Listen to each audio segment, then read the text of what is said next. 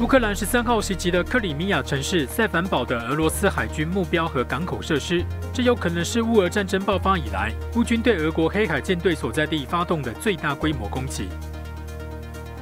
印度南部克勒拉省爆发利百病毒疫情，目前已造成两死。当局十三号关闭的部分学校、办公室，并暂停公共运输，以防止疫情蔓延。利百病毒可借由接触受感染的蝙蝠、猪只或患者的体液而传染。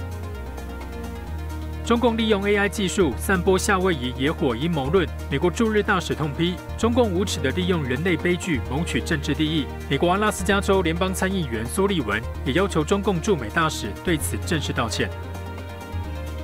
墨西哥国会听证会上展示的两具非人类遗骸，有细长的头部，每只手有三个指头。X 光发现其中还有神秘的卵。遗骸是2017年在秘鲁细藻矿形成的化石中被发现，经检测大约有一千年历史。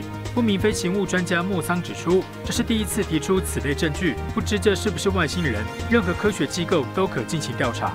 新唐人有的电视这里报道。